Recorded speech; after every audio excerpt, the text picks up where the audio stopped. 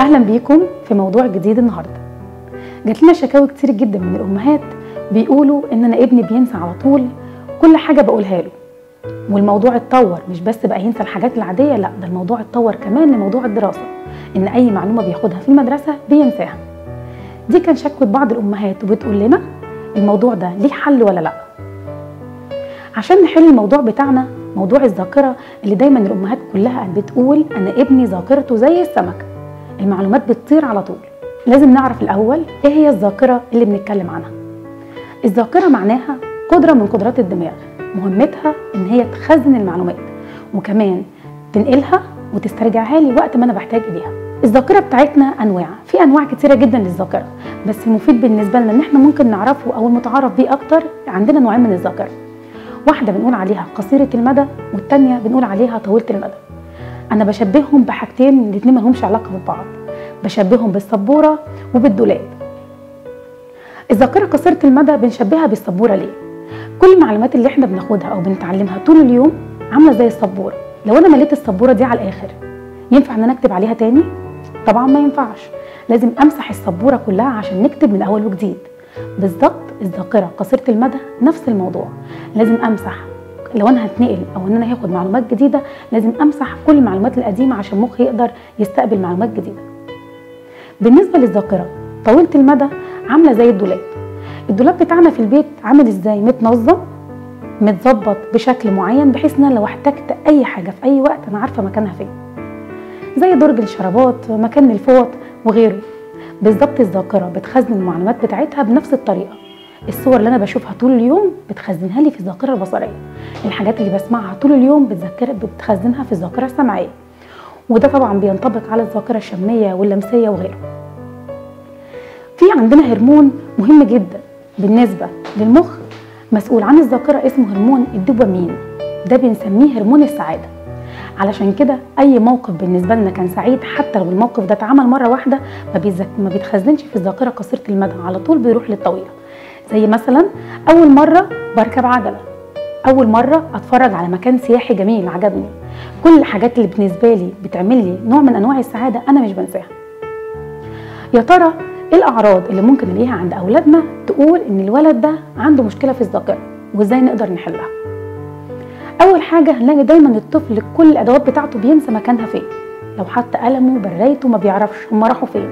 لعبوا مش فاكر مكانهم. لو الأم قالت له انزل اشتري لي طلب من تحت دايما لا بينسى كل الطلبات لا بيجيب لي طلب أو اتنين أو يبدله. دي بعض الأعراض اللي إحنا بنلاقيها عند الأطفال. يا ترى إيه هو العلاج بتاعنا؟ وهل ينفع نعالج المشكلة دي ولا لأ؟ علاجنا في حبة حاجات بسيطة. وغير العلاج كمان هنقول حبة أنشطة مفيدة ممكن الأم تطبقها في البيت. أول حاجة مهمة جدا بالنسبة لعلاج موضوع الذاكرة لأطفالنا النوم الجيد بيؤدي لذاكرة جيدة. إيه علاقة النوم بالذاكرة؟ لما أي حد فينا أو كل حاجة بنبتدي إن إحنا نتعرض لها طول اليوم لما بنام المعلومات بتبتدي تخزن معلوماتها في الدولاب اللي إحنا قلنا عليه. لو ما نمتش أو ما خدتش نوم كافي المعلومات مش هتتخزن من أول وجديد. فهتروح هتطير. التغذية بالنسبة لأولادنا مهم جدا وخاصة الأكل اللي فيه مادة الأوميجا 3 ده موجود في أسماك التونة وموجود في أسماك السلمون وكمان المكسرات والكاجو. ولو مش هتقدري عليه ممكن تجيبي فول سوداني ينفع برضه. من الحاجات المهمة جدا الرياضة. في ناس هتقول لي إيه علاقة الرياضة بالذاكرة؟ الرياضة مهمة جدا بالنسبة لتنشيط الذاكرة لأن الرياضة بتنشط الدورة الدموية الخاصة بالجسم كله. طالما نشطنا الدورة الدموية فإحنا نوصل للمخ فالمخ كمان هيتنشط. من الحاجات المهمة جدا إن إحنا لازم نعالج بيها أطفالنا موضوع إن إحنا في ناس كتيرة بتركز على الحفظ. تقعد الولد قدامها احفظ احفظ احفظ. مفيش حد بيقول لابنه افهم. يبقى لو إحنا فهمنا أكتر أو الطفل فهم أكتر صدقوني تخزين المعلومات هيكون أحسن بكتير جدا من هو يحفظها. من الحاجات المهمة كمان بالنسبة لأولادنا إن إحنا لازم يكون في توفير بيئة سليمة. لازم الطفل يتربى في بيت ما هوش كله قلق وتوتر. من الحاجات المهمة جدا بالنسبة لعلاج أطفالنا التلفزيون. ما ينفعش إن أنا أخلي ابني من أول ما بيصحى لحد ما بينام بيتفرج على التلفزيون. لا طبعا. لازم الولد يكون ليه وقت بسيط جدا يتفرج على التلفزيون عشان يقدر بعد كده يتعامل أو يفكر. في عندنا ألعاب كتيرة جدا زي ألعاب الذاكرة بتساعد إن الطفل ينمي مهاراته وينمي قدراته وكمان القراءة برضه.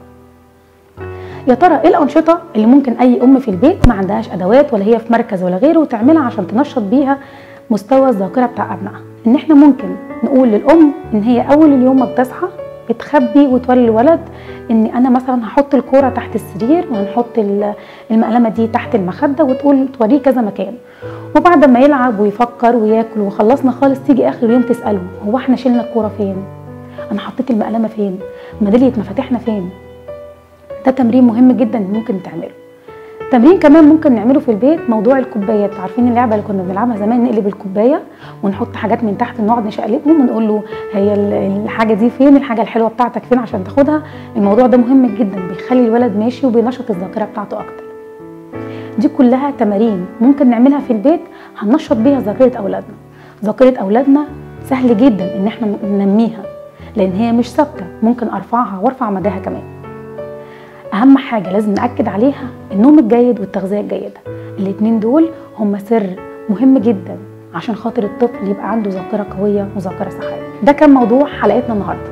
انتظرونا في حلقات تانية جديدة في أنا وطفلي مع صباح رمضان.